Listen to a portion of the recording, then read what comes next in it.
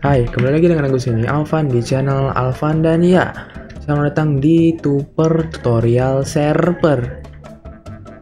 Nah, di video Tuper kali ini aku akan menunjukkan kepada kalian semua gimana caranya kalian mengganti tab atau mengubah, mengubah tab kalian yang atas ini ke seperti Sans SMP ya. Oke, gimana caranya? Langsung kita gaskan mulai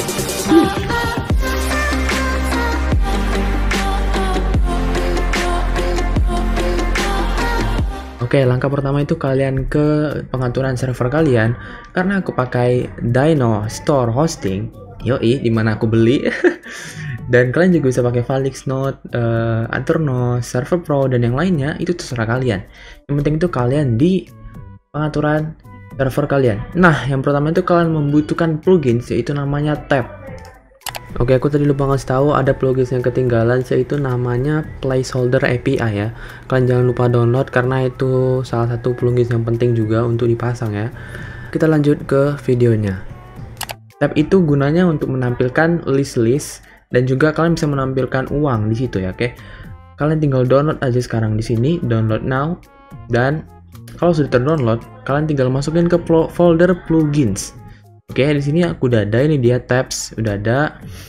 Nah, setelah itu sudah ada, kalian jangan ke Minecraft dulu. Kalian itu ke oh ya, kalian start dulu servernya sampai nanti udah keluar folder tabnya ya. Kalau udah keluar kayak gini, kalian tinggal masuk ke foldernya.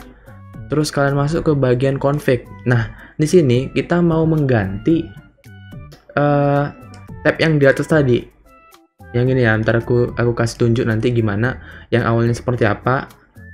Terus nanti kalian ganti di sini ini ada bagian header sama bagian footer.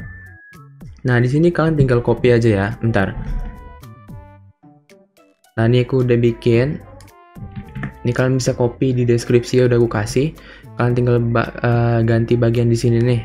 Nah ini bagian ini yang kalian ganti Ctrl V. Oke, langsung terganti. Jadi lebih simple dan mirip dengan Sans SMP. Di sini udah ada welcome to Kentang SMP karena nama serverku Kentang SMP. Kalian bisa ganti ke nama server kalian misalnya di sini kalian ganti ke Sans itu terserah. Gue bikin ke Kentang aja. Terus ini rank. Ini gunanya untuk apa? Ini untuk nambahin atau memunculkan rank di bagian tab listnya. Terus ini bagian footer ada selamat bermain, ini online untuk menampilkan jumlah orang yang online dan di sini ada uang. Ini untuk menampilkan jumlah uang atau ya money yang dipunya dalam suatu player. Jadi nanti tertampilkan di tabnya, oke? Okay? Kalau sudah, kalian tinggal save content. Nah, sudah tersave content. Terus kalian nggak perlu restart servernya. Yang kalian perlu itu adalah kalian reload ya. Kalian bisa nge-reload dari konsol, bisa juga dari Minecraft. Aku di sini aja biar lebih cepet aja tab reload. Nah udah terreload. Hmm. Ntar kita coba tengok dulu ya di Minecraft. Nah oke. Okay. nih kalian bisa melihat ya kita lihat sama-sama gimana tabnya. Apakah sudah benar-benar mirip seperti saat SMP oke? Okay? satu dua tiga bam. Nah mantep cuy. Welcome to gentang SMP itu ranknya A karena aku bikin di bagian uh, bagian grup di look perm lah kalau kalian tahu ya Udah bikin A kalian juga bisa ganti surah kalian di situ ada tulisan nama-nama playernya ada kelas A ada kelas B dan ada uangnya 8000 oke okay?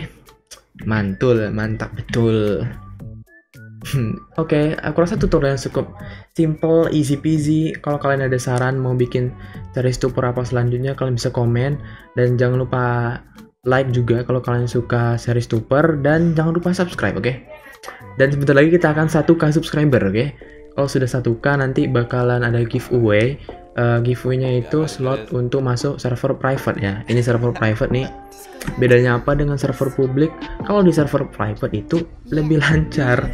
TPS-nya wah gila cuy, 20 semua. Mantep memang ya. oke. Okay. See you next video.